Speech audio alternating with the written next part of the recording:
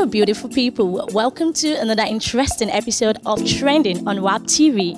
You're gonna be chilling with your home girl at Me Evelyn. So for today, for the show, eh, you know what we they do for WAP TV now on Trending. It's all about fun, fun all the way. So today, you know, say I sabi apoko where where. Now my favorite thing where I they do every day.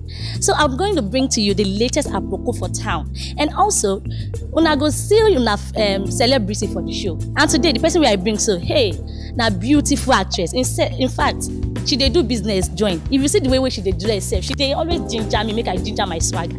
I know you all wanna watch the show but let's take a quick commercial break. And the song wey i bring for una today eh hey na die. Na malo by um, tiwa savage and wizkid. So make una put on your dancing shoes cause today eh na brengedede so let's sit back relax and enjoy after this short break. Thank you. hello everyone out there. Welcome to your african numero uno entertainment celebrity show where we drop it like it's hot every single day of the week.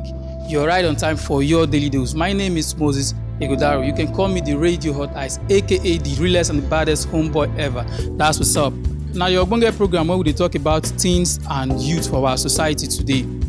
As you all know, last week we talked about very important topic we consign when do you call it a quit in your relationship. That is what I titled last week topic. But for this week, we get another very interesting topic where we call when dey fall in when you actually fall in love in your relationship this one na one important topic wey we go out there we go get opinion from our various viewers and our listeners out there wetin dem think and wetin dem reason about this our topic for today. What better way to usher in today's show than with the perfectly teamed song? That was We Are Never Getting Back to That Together by Taylor Swift. My name is Hawa Ibrahim and welcome to WAP TV. Welcome to the WAP Fab Lifestyle. And today's topic is going to be a very fun one and interesting one because whenever I have the conversation with friends or with colleagues or with my mom especially, she never seems to be able to come to a middle ground with me. But I want to hear you guys' opinion on the subject. Today we're going to be speaking on the X. Now there's been a lot of issues on social media regarding women proposing, women fighting for, you know, equal rights, women going down on the knee. I want to hear you guys' opinion on this. But basically, I want to start from the ex.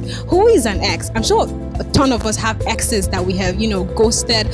Some of us are dealing with issues of ex right now. But who is an ex to you now?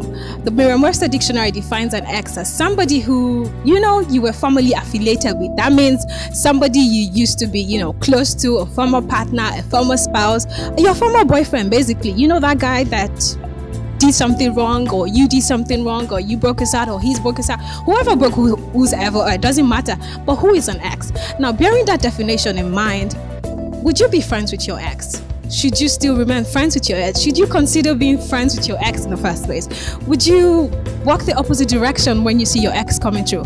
Or should you even acknowledge their existence in the first place? Well, I'm going to let all those questions brew in while, you know, I go on a short musical break. And then when I get back, I've got a very entertaining guest in the studio. And together we're going to be discussing on the matter of ex. Don't touch your dial. I'll be right back.